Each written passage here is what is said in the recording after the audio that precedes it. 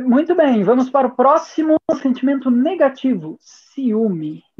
O ciúmes ele é uma posse, né? E já é. começa no momento em que nós casamos ou no momento em que nós namoramos. Por quê?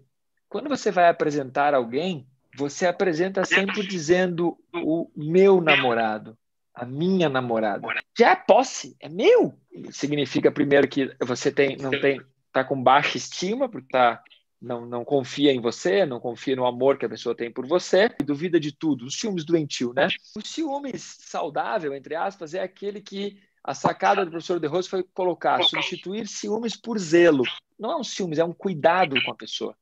Você pergunta onde ela vai, não porque você está querendo controlar, mas porque de repente você quer cuidar da pessoa, você quer dar uma dica de um melhor caminho, melhor, um zelo, e não porque você quer policiar a pessoa. Então, esse, esse para mim é o mais difícil das pessoas entenderem.